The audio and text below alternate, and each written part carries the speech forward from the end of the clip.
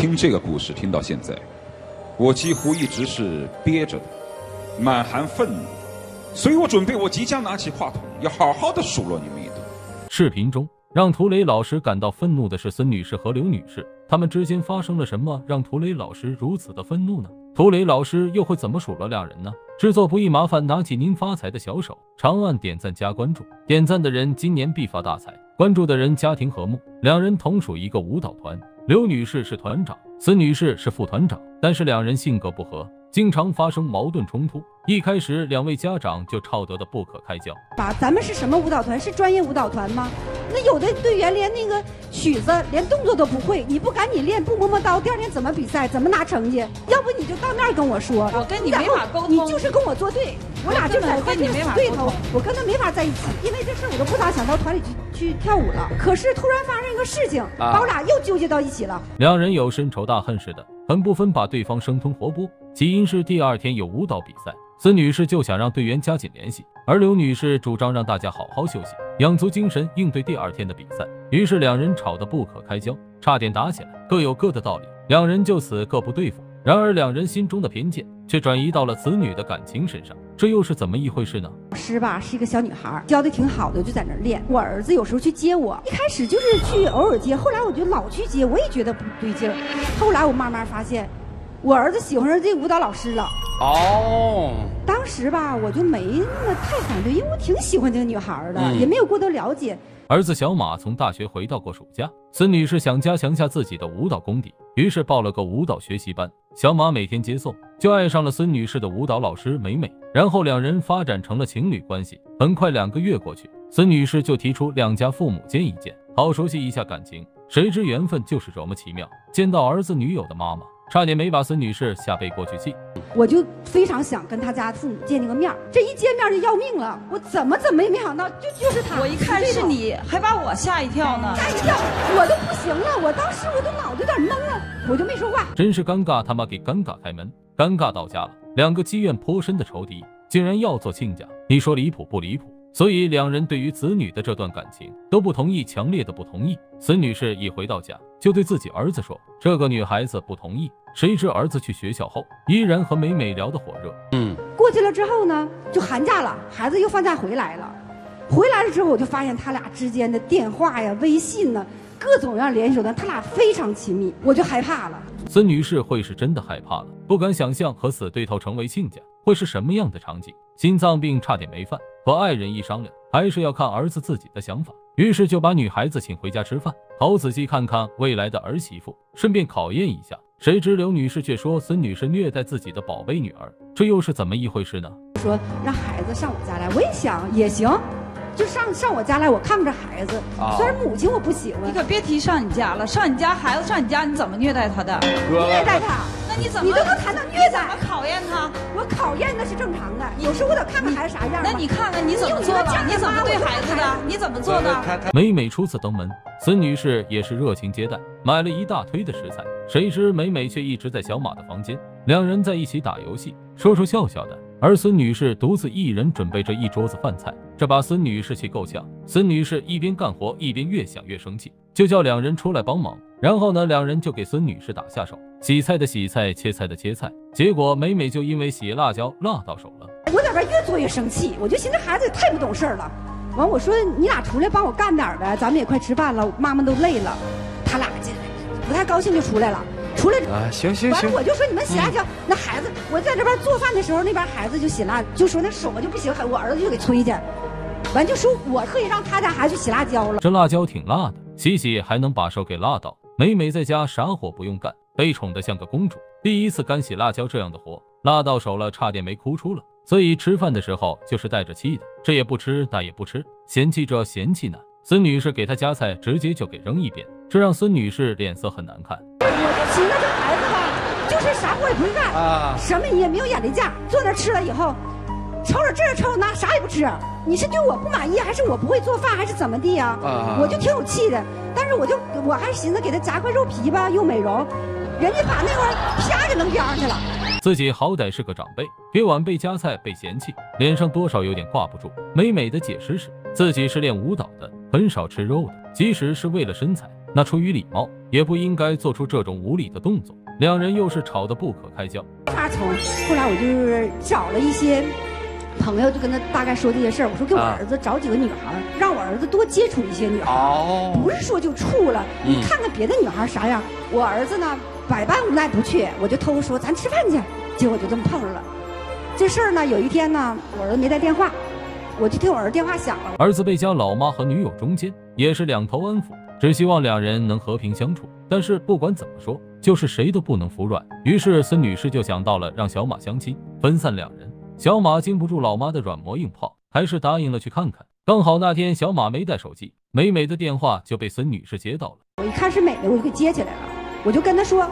美美啊，你不要再给我儿子打电话了。我说我儿子已经有女朋友了，我就是希望你们断绝关系，别再打电话了。我把电话撂了。那有你这样的吗？有你这样做家长的吗？孩子接到你电话以后，回家哇哇大哭，自己有课都不给别人上了。我估计是现在是伤害，你知道吗？哎，好好好。但是我觉得现在是短痛比长痛强。美美当然伤心了，被孙女士这样数落，心里说不出的委屈，把头蒙在被子里哭了一晚上，觉得自己被欺骗了。刘女士看到女儿这样，心里也疼。更是不同意这两孩子在一起了，所以来到节目组要断个干净。两人在这个问题上意见出奇的一致。孩子别找我家孩子，我还找你家孩子，你你别让你儿子来去，你别让你儿子去骚扰我姑娘，好不好？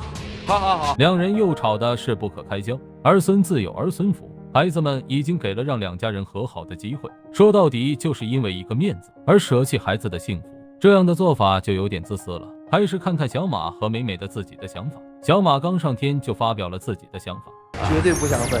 那你是要你妈呢，还是要美美呢？我是希望他们两个都好的啊。我想在中间调和一下，毕竟这边是我妈，然后那边是我女朋友。我希望他们两个能和睦相处。妈妈强行干预孩子的感情，这要是真的分手了。孩子是否会记恨母亲呢？两位母亲到底是有什么深仇大恨？孩子的幸福都可以不管不顾，只为了心中是一口气。就是你现在这种犹豫不决的样子，才造成今天这种场面的。啊！我当初为什么和他在一起，就是因为他有责任心、有担当。可是你看看，就今天这种场合，你还在中间这样，你有考虑过背着我和其他女孩子见面，我有多难过，我有多伤心吗？不管小马怎么解释，美美就是不听，认为这就是背叛。误会了，当时我妈妈也没有跟我说是见其他的女生，而且我绝对没有说背叛我们的感情还是怎么样。我是真正的爱你的。我认为这就是一种背叛，你根本就没有考虑过我的感受，根本就没有在乎过我。什么叫在乎你啊？那在乎你就没有妈了，就得把你放在第一。妈妈，你先，我不是说把，不是说不要你把他放在第一。你妈和你媳妇掉进水里，你会先救谁？请把你的答案留在评论区。一边是生自己的母亲，一边是心爱的女友，确实是一个让人头疼的问题。可能也是小马不够坚决，难以在两人中间选择。美美对于小马和别的女孩子相亲这回事，美美一直耿耿于怀。等于现在他母亲。让你男朋友去相亲这事儿，给你带来了很大的伤害，是吧？我始终无法接受，我觉得他是是对我的一种背叛。那美美认为这是一种背叛，背着他和别的女孩子相亲。但是小马也是身不由己，命运就是喜欢捉弄人，让两人相爱又不让两人在一起，只希望以后小马不要抱怨自己的母亲棒打鸳鸯。孙女士也是忍不住的开口和美美对骂起来：“你这嗓子是？”是最近这总是那边劝我妈，然后嗯，也给这边打电话，这就挺累啊。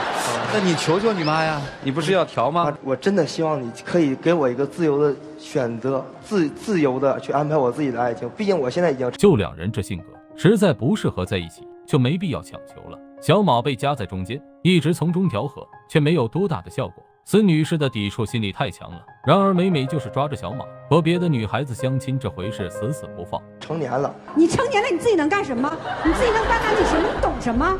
你现在第一次见着他，你就被他迷上了。你从跟他在一起，我什么话你都不听不能说我被他迷上了，因为我是喜欢他。你不是迷上的，你就是迷上他了。你觉得任何女孩你都看不上，你第一次恋爱，你懂得爱。你看看他，他现在还这么犹豫不决，还这么在中间懦弱，我简直无法。小马。在最爱的两个女人中间受着夹板气，两边劝说嗓子都哑了。为了心爱的人，小马头发都愁白了好几根。希望老妈可以给自己选择幸福的权利，希望女友能理解自己的苦衷。可是这一切太难了，在妈妈眼里，小马永远是孩子。那你的意思，他应该怎么做呢？他应该很好的第一瞬间就找到我和他妈妈之间的一个度，而不是像现在这样在中间。搅和，我认为什么度？你跟你妈一样，你就希望我儿子全听你的。当妈妈的怎么了？我当妈妈的怎么了？你干什么？我就因为你，我才对你家孩子多少点偏见。你考察更白扯。你爹多刁钻刻薄。美美开始就是喜欢小马的担当和果敢，才会选择和小马在一起。可是现在小马犹豫不决的样子，让美美有些失望，后悔当初和小马在一起。知道双方的妈妈不对付后，对于两天的感情更是没有信心。大人之间，就你说我大人之间的这些争吵下到我们孩子身上，你们为什么总要这样呢？我们两个之间感情本来很不，但经过你们两个这件事情，现在把我们搞成这个样子。哎，如果一定让你选的话，你选谁啊？我主持人，你这话说的有点不太厚道了。我可能选谁呀？这一边是我妈，一边是我女朋友，我怎么可能都能选呢？你说的这话不厚道是吧？我觉得主持人问的对。小马的妈妈把对于美美妈妈的偏见全部转嫁到了美美身上。当妈的肯定不想看到女儿受欺负，于是有和孙女士吵得不可开交，在台下估计都要打起来了。小马也是摊开双手，一脸无奈。不管怎么说，孩子是无辜的。随后，主持人对小马提出了一个很不厚道的问题：妈的，你就为了他，你就什么都干？你怎么伤害妈妈？你怎么？看妈妈犯心脏病，你也我并没有说伤害你啊。那你是咋的？你就是伤害我呀！你说妈妈对你从小言听计从，就这个事反对你，我是为了你好，儿子，我还能为什么呢？说为了我好，就是为了你好。美美却说支持人这个问题提得很好，小马总归需要做出选择，想要和平相处几乎不可能，这不是给小马出难题吗？而且是世纪难题，手心手背都是肉，末了谁都不行。据悉，孙女士心脏不好，就因为儿子有了媳妇忘了娘。差点没气出心脏病。不仅如此，孙女士还说出了天下母亲都喜欢说的一句话：“妈妈是为了你好。”哎，好好好好好。儿子如果一定跟他在一起，你会怎样？我坚决反对。我现在的态度就是坚决反对孩子在一起，因为孩子不懂爱。谁初恋的时候能懂得爱情？小马和美美是初恋，孙女士认为小马还小，根本就不懂什么是爱情。不仅如此，态度也十分的坚决。无论如何，不同意两人在一起。哎，喜欢他吗？我是肯定喜欢他，这件事绝对的没有错。我喜欢他。我我我我问他啊，你喜欢他吗？我对他有感情，因为我们之间感情也很好。啊。但是我还是就接受不了他背着我和其他女孩见面。这个得还给我啊。小马和美美一开始两人的感情是挺好的，但是有了小马妈妈从中横插一杆。加上上次相亲事件，让美美对这段感情也不是那么的坚定。随后，主持人让小马开始做战队，小马站在中间不知所措。孙女士急忙上前把儿子拉到自己身边，生怕别人把儿子抢走。还是听听马丁老师是怎么说的。不一样的女儿，两个妈妈之间的矛盾，我就品出了两个字儿，叫自私。你认为我自私啊？我真就是为了孩子呢。你说两个家庭，当然是你自私，我自私，当然。你所有的出发点都是你不喜欢，那你说两个人相爱是两个人吗？他的两个家庭结合到一起，但两个人相爱首先是两个人，恋爱是两个人的事，结婚就是两家人的事。要是亲家不和谐，这小两口过得也不幸福。言归正传，孙女士和刘女士确实是自私了，把自己的偏见都强加在孩子身上，没什么深仇大恨不能化解，相逢一笑泯恩仇。况且子女的幸福比什么都重要。这位大姐，你要真想让他们分开的话，让他们自由的发展，没准哪天像你所说，两个人不爱了，嗯，发现更好的选择。但你越压迫，他们越会在一起。这位妈妈，如果你觉得对方这个仇敌是自私的人、不讲理的人，你也反省一下自己。家长越是反对，孩子越是要在一起。阻力有多大，动力就有多强。这是普遍的规律。本来他们感情没这么好，但是家人的反对可能会导致两人越来越紧密。如果任由发展，也许哪天就分手了。家长还是不要过多的参与儿女的感情生活。如果你对自己的孩子的爱是无私的，就给自己女儿喜欢的男生一些空间。不是都看不上对方吗？就看谁能给自己孩子爱情这件事情上做出表率。做的不那么自私，做一个开明的母亲，让对方瞧瞧我这个妈是怎么当的。两位母亲明里暗里的争得你死我活，还不如在对方面前做一个表率，看看自己这母亲是怎么当的。无非就是抹不开脸，低不了头。涂磊一直听到现在，心里一直憋着一口气。听这个故事听到现在，我几乎一直是憋着的，满含愤怒。所以我准备，我即将拿起话筒，要好好的数落你们。但是我不敢，为什么？因为我害怕，我害怕让你们俩下不了台。裘雷老师都按耐不住要骂人的冲动，确实让人气愤。为了自私的个人恩怨而不顾子女的幸福，老师又怕他们下不来台，为难的还是孩子。怎么说，孩子都是无辜的，结果回去还是为难的是孩子。甚至我想站起来给你们行个礼，不要再干涉孩子的幸福。就是我这么一个外人，我也可以委屈着自己的委屈来成就孩子们，而你们俩是母亲，为什么连一个外人都不如？有父母干涉的感情，十有八九都不会幸福。过得好还好，过得不好也会对父母产生怨恨。就连涂磊老师都可以忍住心中的愤怒，不批评这两个母亲。然而，两位母亲却是看不清，不愿放下心中的怨恨。为了心中的那点自尊心，不惜以孩子的幸福为代价。刚才大家说了，弄不明白你们为什么那么看不惯对方，不过是在彼此的价值观和工作方式方法上不能够认同对方而已，仅此而已。按道理来说，两个孩子之间的结合是你们俩冰释前嫌最好的方式。仅仅是价值观的工作方式上不能互认同对方，才造成了这样的局面，牺牲了孩子的幸福。合伙上演了一出棒打鸳鸯，孩子一次一次给出了让两人和好的信号，但是两人始终没有珍惜。你说你们多有缘分，有共同的兴趣爱好，喜欢跳舞，你们在一个团。他的女儿又是你的老师，你的儿子又爱上了他的女儿，而现在你们又是正父职之间的关系。如果你们两家结为亲家，不光是他们之间好，你们工作上相互配合、相互烘托，这该是一个多么好的冰释前嫌、彼此之间握手言和的好机会。缘分就如此，本来没有什么深仇大恨，只是工作上的意见不一，原本可以结合成儿女亲家，有着共同的爱好。也许过几年，两位奶奶还能带着孙子一起去跳广场舞。回想起现在的幼稚行为，也许是另一番趣味。孩子们一次一次的给了你们机会，你们没有要，看不惯对方和自己的孩子的幸福孰轻孰重，这道理在这搁着，还要我们这些还没有到你们这年纪的人来给你们说这种道理。这两个孩子，他们之间如果是分手了。又或者是在一起，这是他们俩自己的玩自己的事情，由自己负责。父母应该做好，只是告诉你们彼此的经验，而不应该把自己所有对这个世界的认知都强加在他们身上。小马和美美都是成年人，有着自己的想法和行为责任，不管是在一起还是分开，都是他们自己的决定。长辈的横插一杆，只会让让人的感情束手束脚。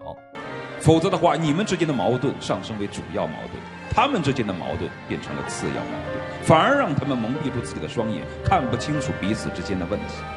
所以说，我只有恳切的请求你们管好自己的事儿。他们俩之间在一起好了，你们在工作上相互配合，而不是相互诋毁。旁人该会有多羡慕？这是多么和谐的一家人！就这样。最后，希望给他们都能找到自己的幸福。两位妈妈也不要再参与子女的情感了。今天的故事到这里就结束了，感谢您的观看。屏幕前的您有什么想说的？欢迎评论区留言。看到这里也是辛苦了，麻烦拿起您的金手长按，点赞加关注，抱拳了。